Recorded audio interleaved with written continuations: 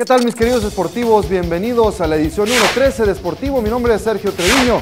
Acompáñenme a verlo. Los rayados están de vuelta, de eso no hay ni la menor duda. Y estoy hablando del carro completo.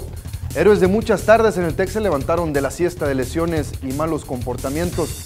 El Monterrey está listo para reclamar los lugares que había cedido desde hace meses.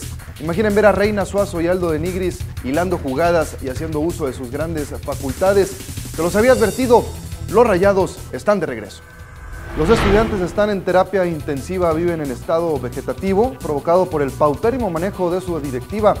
El brillo en los ojos lo perdieron mucho tiempo atrás, incluso me atrevería a decir en aquella final que cayeron derrotados por las poderosas águilas del Piojo López y compañía.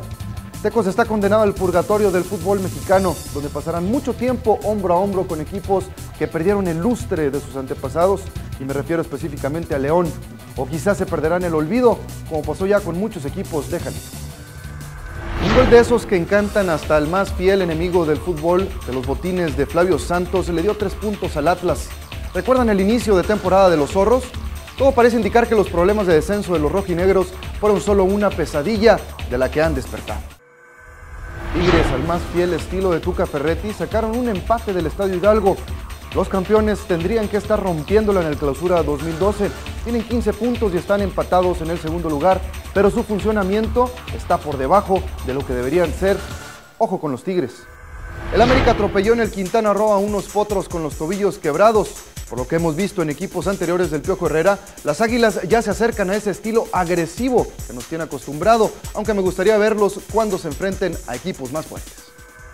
El choque en el caliente entre Cholos y Diablos fue menos de lo esperado. Cholos tiene prácticamente el espaldarazo de la primera división para la otra temporada y podría meterse incluso a la fiesta grande. Toluca con Alonso se ha convertido en un rival muy complicado y seguramente lo veremos en lo más alto de la tabla. Morelia sigue gustando y produciendo puntos. Es el líder de la competencia y está enrachado. Se ha convertido en el equipo más peligroso en el torneo y se ha sumado a los favoritos al título. Puma sigue siendo un equipo gris y no somos un rayo de mejoría. O se acabó el gas de la cantera o de plano se acabó el discurso de Memo Vázquez. Ya querían atribuirle el triunfo al señor Cruyff. Lo más importante para los seguidores de Chivas es que ya se ganó. La llegada del holandés seguramente ayudará mucho a la organización rojiblanca y les aseguro que habrá cambios a mediano plazo.